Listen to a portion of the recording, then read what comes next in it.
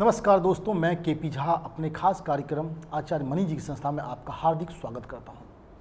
दोस्तों, ये कार्यक्रम स्वास्थ्य से जुड़ी हुई समस्याओं के लिए है, जिस पे हम आपको बताते हैं कि आप अपने स्वास्थ्य को कैसे बेहतर करें। दोस्तों, जीवन में स्वस्थ हर कोई रहना चाहता है, और आप भी चाहते हैं, मैं भी चाहता हूँ। तो इस कार्यक्रम आपके लिए है।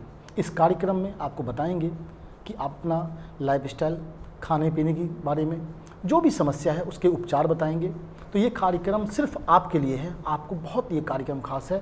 हम लोग इसी टाइम डेली लाइव आते हैं।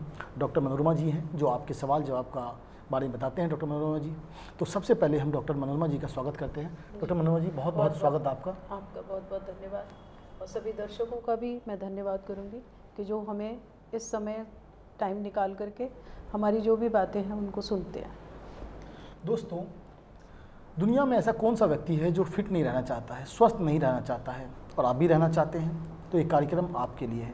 इस कार्यक्रम में आज जो हम बात करेंगे एक जो आजकल एक बहुत बड़ी समस्या है मोटापा यानी ओबेसिटी ओबेसिटी यूँ तो कोई बीमारी नहीं है मगर उस बीमारी की वजह से कई ऐसी समस्याएँ आ जाती है जिसके बारे में हम कार्यक्रम में चर्चा करेंगे। डॉक्टर मनोरमा जी, जी। ओबेसिटी की जो समस्या है आज की डेट में जी जी। वो एक कॉमन बीमारी हो गई है। काफ़ी लोग मोटापा के शिकार होते जा रहे हैं और अचानक से ही शिकार हो जाते हैं। जी। बहुत जल्दी उनका मोटापा बढ़ जाता है। तो क्या कारण है कि मोटापा बढ़ जाता है और अपने संस्थान में इस बीमारी के लिए किस तरह से इसका उपाय है? जी। सबसे पहले तो ये है कि हमारे संस्थान में जो भी आते हैं उनको रोग के हिसाब से कि उनको क्या है कुछ हम नाड़ी के द्वारा उनकी जिभ्या के द्वारा और उनके नेल्स हैं उनका कलर और वो सब के द्वारा हम ये देखते हैं कि कहीं कोई बेसिक कोई हार्मोन डिस्टरबेंस तो नहीं हो रहा। वो सब देखने के बाद हम उनको और कुछ तरह के हर्ब्स हैं जो कि शरीर से जितना भी फैट है उसको धीरे धीरे कम करने लगती हैं। दोस्तों, मैं कई दिन से जो भी मेरा बात आती है तो बीमारी की जड़ में मैं यही कहती हूँ कि लिवर ही हमारी किसी भी रोग के बारे में पहली सूचना लिवर ही देता है कि अब मैं काम नहीं कर पा रहा, मैं अपना काम अपने सहयोगियों को दे रहा हूँ। तो उसमें धीरे धीरे सभी ऑर्गन्स पे वो अपनी छोटी छोटी समस्याएँ देने लगता है। जब हमारा खाना ठीक से रात को पचा ही नहीं, सुबह तक हम वैसे ही लेके बैठे हैं तो क्या होगा? धीरे धीरे हमारी कमर पर, यानी बैली के ऊपर मांस आना शुरू हो जाएगा। तो आपने देखा होगा, आजकल क्या है? आईटी का ज़माना है तो सभी लोग दिन भर सिटिंग जॉब करते हैं। लगातार सिटिंग जॉब और पसीना बहता नहीं है, हम एसी के नीचे बैठे हुए हैं। और उसकी वजह से क्या है? इधर हमने विटामिन डी ही लिया ही नहीं। लगातार हमारा वर्किंग 10 से 12 घंटे का हो गया है और उस दौरान क्या होता है कि कमर के ऊपर, थाई के ऊपर और हमारे हाथों के नीचे जितने पोर्शन हैं, उन पे मांस आना मांस चढ़ना शुरू हो जाता है। ये समस्या जब प्राइमरी कंडीशन में हो, तभी अगर पेशेंट्स अपने आप को संभालने में उस समय उनको पेशेंट नहीं कहूँगी, पर थोड़ा सा अपने आप को संभालें। कैसे? अब जब हम लेट नाइट तक काम कर रहे हैं तो हम खाना क्या खाएँगे? भूख तो लगेगी ना? तो हम ऑर्डर करके बाहर से वही खाना मंगवा रहे हैं। और वो किन में बनाया गया है? वो सभी वो ऑयल यूज़ किए गए हैं जो कि सेचूरेटेड हैं। यानी जैसे सोयाबीन रिफाइंड ऑयल मैदा खाई हमने, वो क्या है? वो गेहूँ का रिफाइंड रूप है। हमने चीनी खाई, वो क्या है? गुड़ का रिफाइंड रूप है। जितनी ज़्यादा चीज़ें हमारी लाइफ में रिफाइंड रूप में आएँगी, वो सभी हमें तकलीफ़ देंगी। वो कहीं ना कहीं जमनी शुरू हो जाएगी। स्टार्च कार्बोहाइड्रेट जितना भी होता है, वो हमारा लिवर बहुत देर में पचाता है और हम उसका सेवन ही ज़्यादा करते हैं, क्योंकि उसमें तरह तरह के मिर्च मसाले डाल करके उनको स्वादिष्ट बनाया जाता है, उनका रंग रूप बढ़ाया जाता है और उसकी वजह से क्या होता है कि रंग देख करके हमें लगता है कि ये चीज़ हमें, हमारी आँखों को अच्छी लग रही है तो हमारे शरीर को भी अच्छी होगी। ज़रूरी नहीं है दोस्तों। जो चमकता है वो सोना नहीं होता। आप कोशिश करें कि उस समय पे घर का खाना खाएँ। और अगर घर का नहीं अवेलेबल तो कुछ फ्रूट्स या सलाद अपने थैले के अंदर डाल के रखें और वो खुद उसी समय निकालें और खा लें।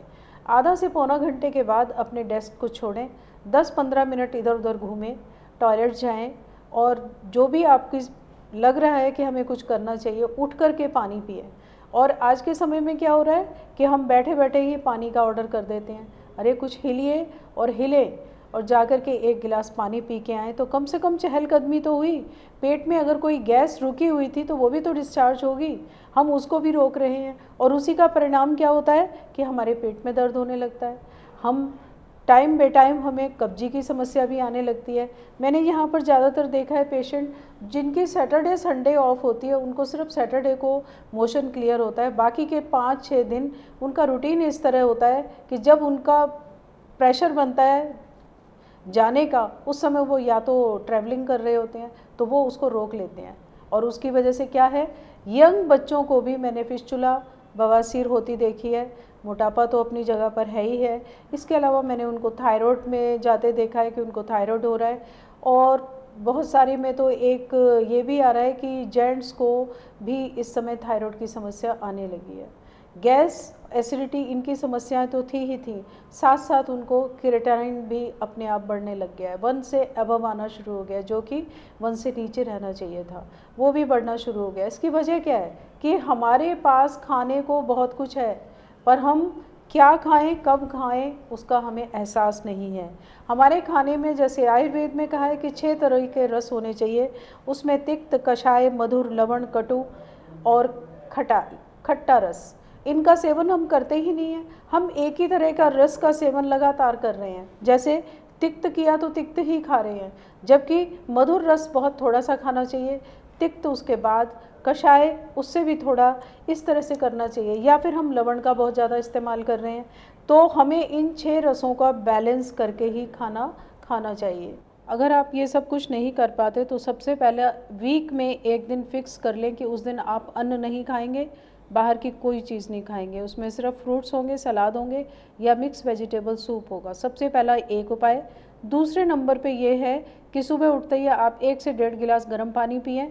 और उसको धीरे धीरे घूट घूट के पिए। एक साथ मत पीना।